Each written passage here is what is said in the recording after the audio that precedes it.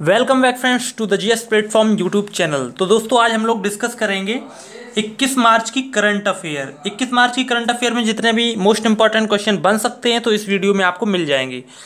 तो अगर आप सहायक अध्यापक भर्ती लिखित परीक्षा एलटी ग्रेड या रेलवे या किसी भी अदर कंपटीशन की तैयारी कर रहे हैं तो आपके लिए करंट अफेयर काफ़ी महत्वपूर्ण है तो आपको इस वीडियो में मिल जाएगा।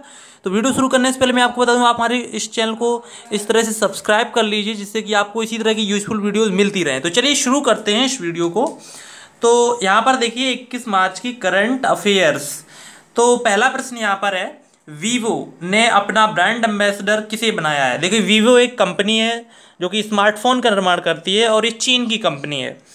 तो वीवो के हाल ही में जो नए ब्रांड एम्बेसडर बनाए गए हैं, जो इनका प्रचार करेंगे, वो है आमिर खान। आमिर खान एक अभिनेता है। तो आमिर खान को वीवो का ब्रांड एम्बेसडर बनाया गया है। तो वीवो आईपीएल से जुड़ी हुई है। आईपीएल में भी अपना एडवर्टाइजमेंट करती है। तो ये आपका पहला प्रश्न हो गया। दूसरा प्रश्न देखिए हाल ही में केदारनाथ सिंह केदारनाथ सिंह का निधन हो गया है, वे कौन थे? तो बहुत ही महत्वपूर्ण प्रश्न है।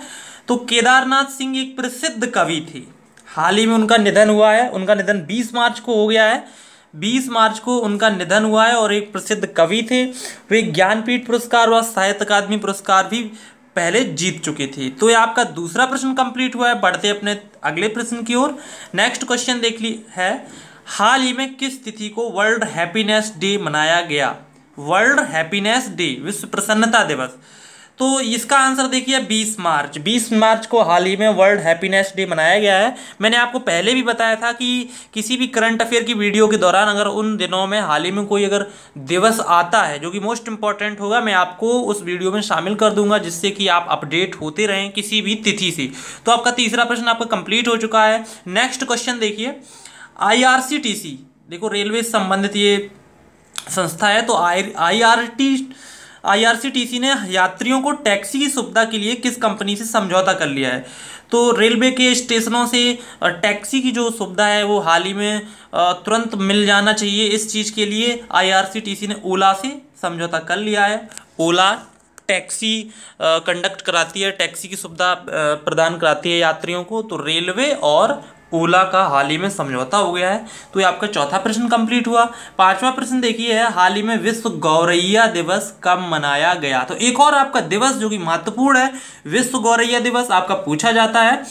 तो इसका देखिए आंसर है बीस मार्च।